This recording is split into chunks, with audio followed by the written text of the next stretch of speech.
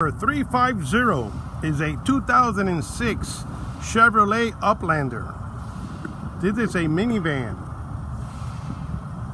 The motor sounds good. The battery is dead. We jump started it, started right up, running nice and smooth. It has a 3.5 liter V6 engine. That sounds really good. Listen. It's got only 37,000 original miles. The oil is nice and clean. I drove in the parking lot. It drove out well. Let me close the hood and show you the rest of the car.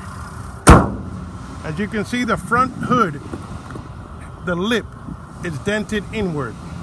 The front cap is good, but the hood got dented. I don't know how that happened, but you can see the lip is bented inward.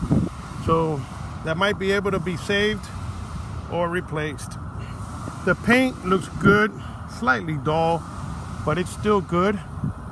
It's got the decal residue on the door from the logo from the school board. This unit has the two sliding back doors that open the entryway towards the back. This is an eight passenger van, meaning that it has a third row seating. One is down position, the other one's in upright position. The two front seats, the seats are nice. The interior looks good. The carpet is dirty, it's got a few stains here and there, but it could be cleaned. The door panels look good. This little cap uh, is missing. I think it's in the back. I see a lot of plastic in the back. So it might have been removed for I don't know what reason. Uh, the steering wheel is nice. The front portion of the dash is cracked, as you can see. The seats look good. The headliner looks good. The motor sounds really good. It revs up nice. Listen. ABS light is on and it has originally 37,712 miles and it has a full tank of gas. Motor sounds really good. All right, it's got an AM FM CD player. It's got the owner's manual in the glove box. The door panels look good.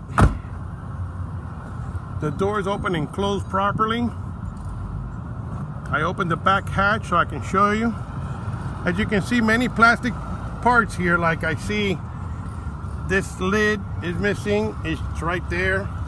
This lid is missing, it's right there.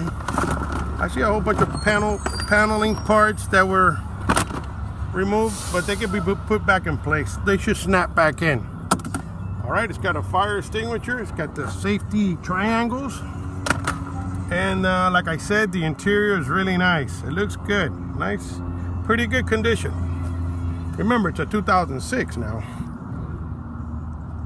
All right, this is the LS model, which has the power windows, power locks, it's got the, let me see.